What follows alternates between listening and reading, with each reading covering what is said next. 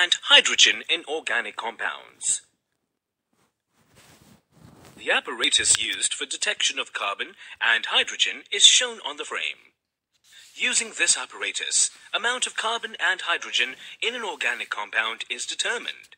Firstly, the substance is heated with copper oxide.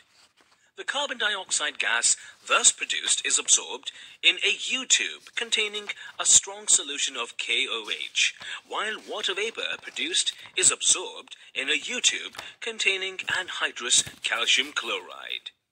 These tubes are weighed before and after the combustion. The increase in masses after the experiment gives the amount of water and CO2 produced.